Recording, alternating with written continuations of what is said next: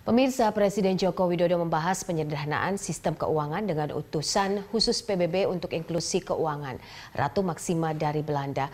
Penyederhanaan ini dinilai menjadi salah satu kunci untuk mendorong naiknya tingkat inklusi di Indonesia. Di tengah laju pertumbuhan ekonomi nasional yang cukup stabil, tingkat inklusi keuangan Indonesia yang masih di level 60 persenan perlu mendapat perhatian khusus. Ini menjadi tema pembahasan ketika Presiden Joko Widodo menerima kunjungan Ratu Maksima dari Belanda dalam kapasitasnya sebagai utusan khusus Perserikatan Bangsa-Bangsa untuk inklusi keuangan bagi pembangunan. Jokowi mengatakan bahwa ada dua kunci utama untuk menggenjot peningkatan inklusi keuangan. Penyederhanaan sistem dan kemudahan perizinan bagi pelaku industri jasa keuangan harus benar-benar dibenahi. Penyederhanaan izin ini menjadi kunci untuk mempermudah akses masyarakat ke layanan jasa keuangan.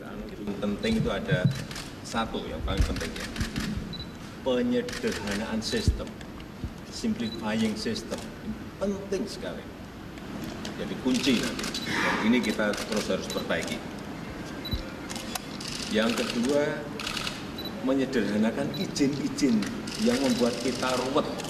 Ini tadi sudah kita diskusikan juga dengan Bapak Ibu Ratu Maksima. Dua hal ini kalau kita bisa selesaikan, ini akan mempercepat apa, uh, inklusi keuangan kita itu kan cepat sekali.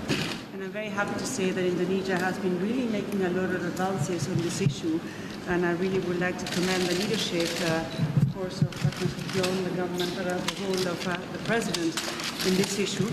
Um, I'm pretty sure in April we're going to have some uh, numbers uh, coming out about sort of the world uh, status of financial inclusion, and we're seeing double-digit growth for Indonesia.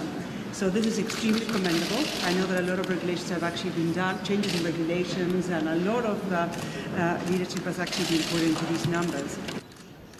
Kedatangan Ratu Maksima pada Selasa 13 Februari 2018 adalah dalam rangka menindaklanjuti program inklusi keuangan Indonesia yang telah diresmikan pada tahun 2016.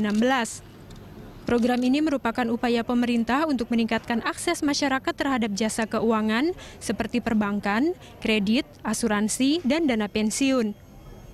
Pengembangan program ini juga diyakini akan semakin mendorong pertumbuhan ekonomi. Friendly Sagala, Tommy Pribadi, Berita 1, Jakarta.